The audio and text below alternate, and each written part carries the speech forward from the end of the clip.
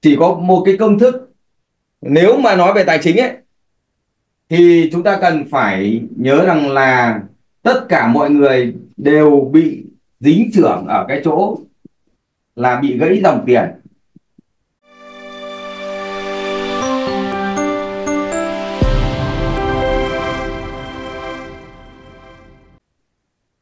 Bị gãy dòng tiền và dùng đòn bẩy sai còn 7 sai.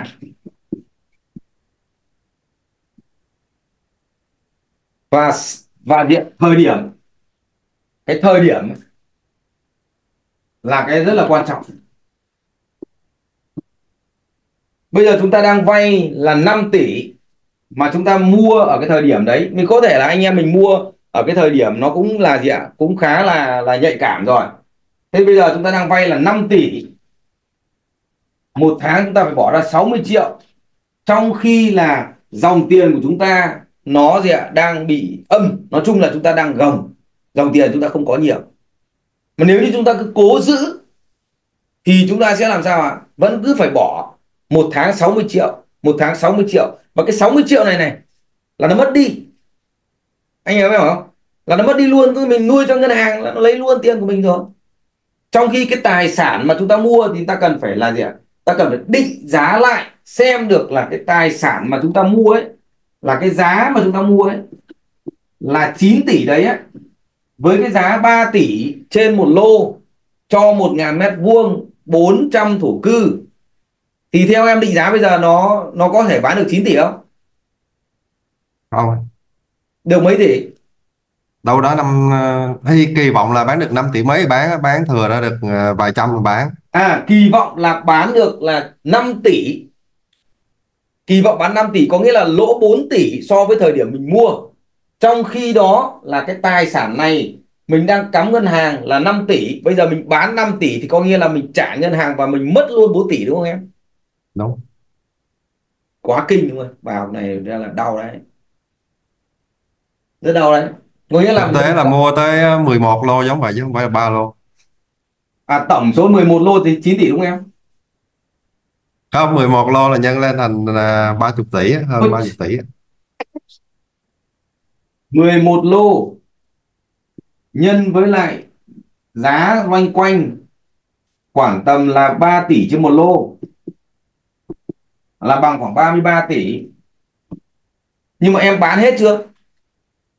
Toàn là của anh em chung dính chùm trong đó hết á. À, có nghĩa là bây giờ em đang dính chùm một chỗ ở đây luôn là 11 lô này. Và Rất là nếu nhiều như bán người. ra là Dạ. 3 tỷ thì em thu về 33 tỷ, có nghĩa là lúc em đi mua á là 33 tỷ rồi. Mà bây giờ em đang vay ngân hàng là 5 tỷ cho ba lô đúng không? Dạ đúng rồi. 5 tỷ Còn- của ba lô nhân nhân 5 tỷ của ba lô là ba lô thì bây giờ nếu bán ra thì cũng chỉ được 5 tỷ thôi và đang vay ngân hàng luôn như vậy là âm 4 tỷ trên nếu như mà tính ba lô như vậy thì âm là âm 4 tỷ càng đấy thế nếu mà như vậy thì cũng phải dứt điểm đi nhưng mà có phải vay tất cả chỗ này là vay bao nhiêu tiền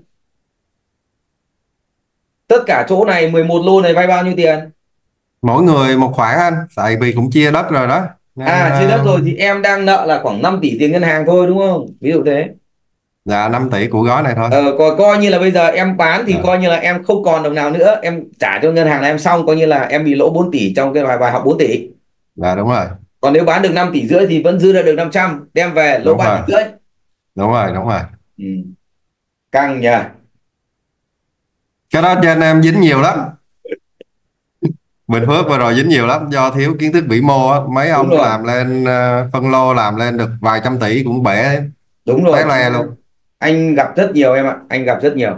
Vừa rồi có những ông mà nợ đến 90 tỷ làm ra một dự án 500 mất mất mất 90 tỷ ông. Nói chung là cái này ấy, thì anh sẽ phân tích chi tiết em với hơn hơn với em để em có thể bán hay là em em có thể ờ, định giá cho nó lên hoặc là như nào đó để cho nó có thể giảm cái phần của em đi nhưng mà nếu em bán đi như này thì em mất luôn coi như là em làm lại từ đầu còn nếu em giữ mà dòng tiền của em đang như thế này thì em sẽ bị mất luôn tài sản thậm chí là mất thêm các tài sản khác.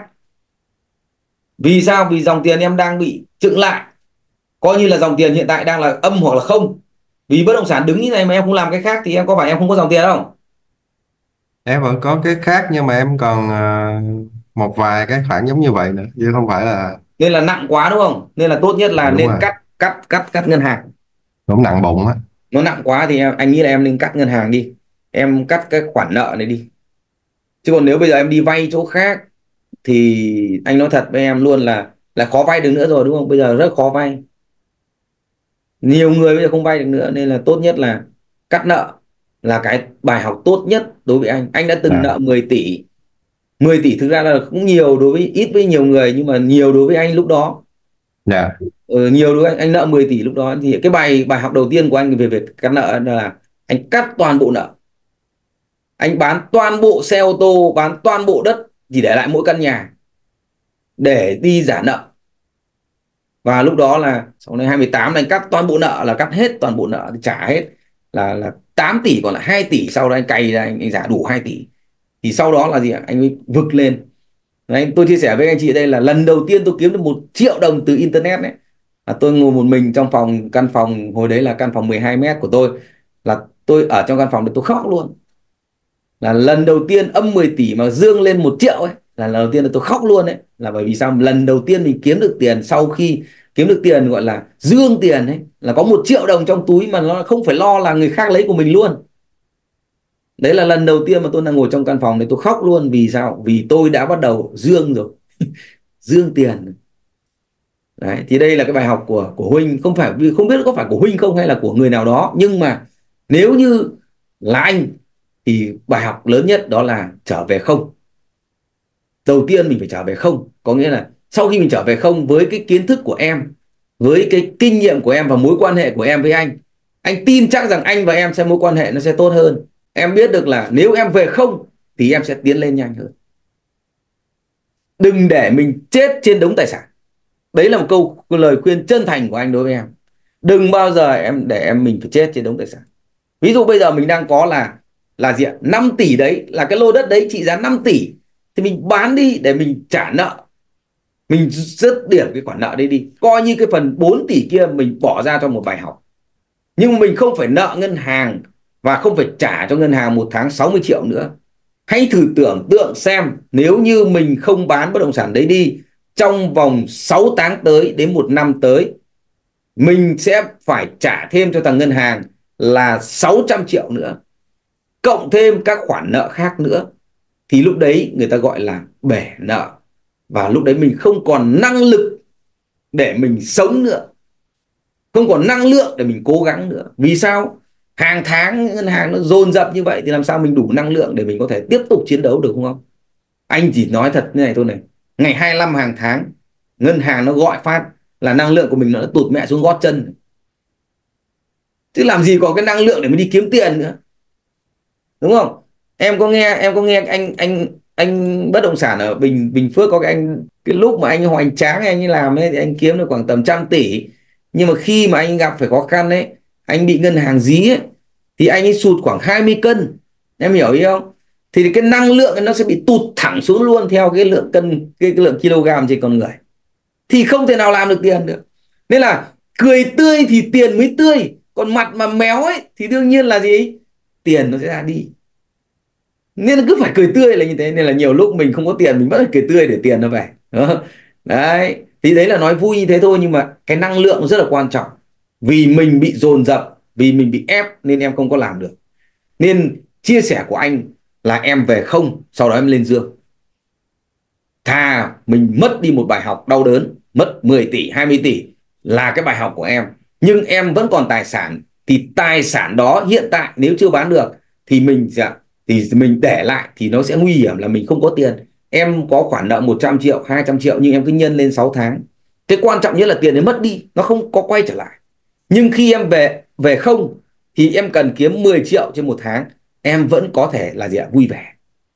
Và với kiến thức, với kinh nghiệm, với bài học, với cộng đồng, với chiến lược thì em hoàn toàn có thể kiếm được nhiều hơn. Ví dụ như là chiến lược, mình có kiến thức thì mình mình môi giới, mình kiếm tiền, đúng không? Với bài học đau đớn của mình mình có thể chia sẻ cho người khác, mình vẫn có thể kiếm được tiền, đúng không? Đó là một cái rất là quan trọng. Rất quan trọng luôn. Và nếu như em về không giống như anh, thì em sẽ lên dương. Và em lên dương sẽ rất là nhanh. Còn nếu em để em chúi xuống, thì em sẽ làm sao? Mất luôn. Chúc mừng bạn đã xem hết video cùng Phạm Văn Nam. Để không bị bỏ lỡ những video mới, hãy bấm vào nút đăng ký hình tròn ở giữa màn hình hoặc có thể bấm xem các video tiếp theo ở bên tay trái, bên tay phải. Bên dưới phần mô tả video này, tôi có để rất nhiều quà tặng dành cho bạn. Hãy nhận nó nhé. Xin chào và hẹn gặp lại trong các video tiếp theo.